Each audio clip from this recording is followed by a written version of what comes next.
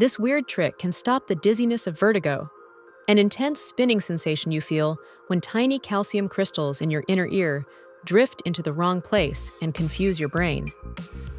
To guide those crystals back where they belong, try the Epley maneuver. Here's how to do it.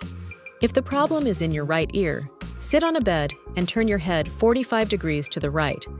Then lie back with your head still turned, letting it hang slightly over the edge of a pillow. Wait 30 seconds. Now turn your head all the way to the left without moving your body and wait another 30 seconds. Then roll your body onto your left side without lifting your head. Your face should now be pointing down. Wait 30 more seconds.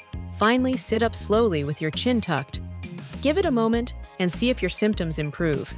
You may need to repeat the process a few times for full relief. If your vertigo is in your left ear, just do the mirror image of these steps.